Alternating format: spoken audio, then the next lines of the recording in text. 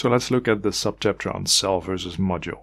So we know that a photovoltaic module is made from photovoltaic cells or PV cells, and one cell, one individual cell is made from a polycrystalline or monocrystalline material, uh, creates a voltage, an open circuit voltage of around or above 0.6 volts one cell 0.6 volts and we know that if we combine the cells in series the electrical pressure or the voltage goes up if we combine it in series, the voltage adds up, and if we combine the cells in parallel, the amperage, so the, the, the current of your solar module adds up, increases.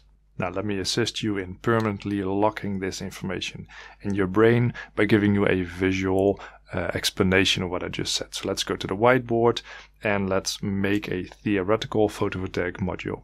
So we start with one uh, PV cell. The one PV cell will have an electrical pressure, an open circuit voltage of 0.6 volts. Then we add many more cells. We add an additional 19 cells and we have one group of 20 cells which will have an open circuit voltage of 20 times 0.6 which is 12 volts.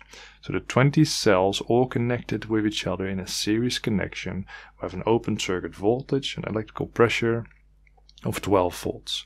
Now we continue like this, we continue to expand our solar module and we add another 20 and another 20 until we have our complete PV module which um, is made out of 60 cells and these 60 cells together will produce an open circuit voltage and electrical pressure of approximately 36 volts.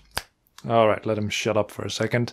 I just want to explain to you that the content of this video is copied from the complete course of energy systems if this information is enough for you, great. If you want to learn more and if you want to get access to the complete course, then check the information in the description below. All right, you go ahead again. I'm saying approximately because it really depends on the um, on the final detailed decisions of the manufacturing process of a specific manufacturer supplier of the solar modules. But a 60 cell photovoltaic module will have an open circuit voltage of somewhere around 36. Most of the times nowadays it's quite a bit higher, it can go up to 38, 40 volts. So in a photovoltaic module where everything is connected in series, we have an open circuit voltage of 36 and we also referred uh, to the open circuit voltage with the term VOC with the unit of volts or V.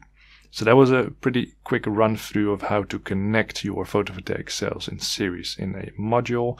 Um, so this is everything I want to explain for now about the subchapter on cell versus module. So now let's go to the next one on series versus parallel connection.